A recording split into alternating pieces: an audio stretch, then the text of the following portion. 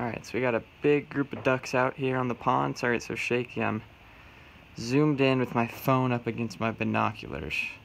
I definitely see some male ring-necked ducks.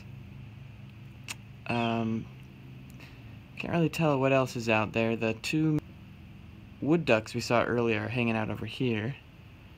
And so just to get you, help you understand why it's so shaky, that's how how far the ducks are away how far away the ducks are with my uh, phone up against my binoculars. And this is what it looks like without binoculars. There they are, way out there. And I'm hanging out in this blind. And there is a wood duck breeding box. Wood ducks are unique among Anseriformes in that they are a perching bird, unlike the rest of um, most ducks. Uh, so they don't belong to Passeriformes, the perching birds, but they do perch. Uh, they fly up into those nest boxes. You can see some on the other side of the lake um, if you look close. Uh, they fly up into those nest boxes and lay their eggs.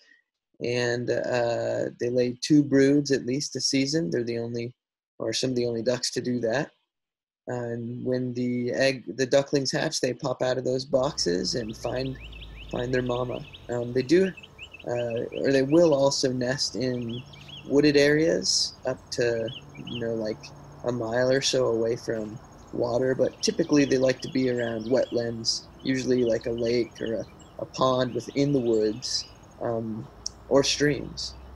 Uh, they are also known for what's known as brood parasitism so a female duck here, you can see a both a male and a female duck.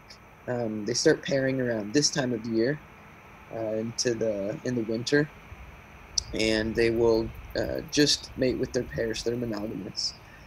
Um, but the female duck, after after the male and the female find their nesting site, other females may come lay her eggs, their eggs in the nesting site, and you can get up to like 30 eggs um, in one nest, and all those ducklings hatch and try to follow one mom around.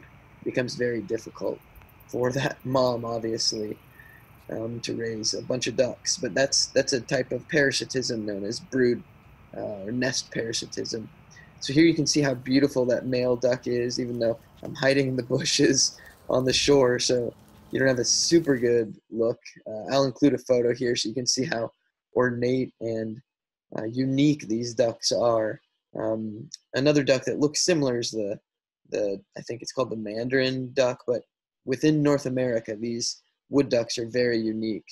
Uh, they were of conservation concern for a long time, but with the help of land dedicated, such as Siddique Park, this wood duck conserve, uh, conservation area, uh, and the success of using these nesting boxes with snake guards, uh, they've bounced back, so their populations are increasing. Uh, and it's a really cool duck that we have here year round within Alabama.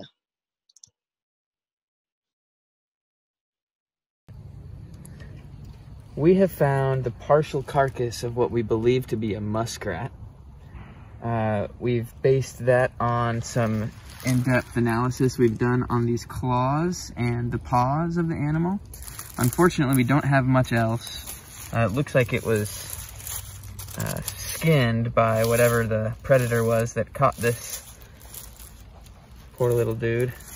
Uh, but the coloration here on the back resembles that of a muskrat as well. Brown, brownish black.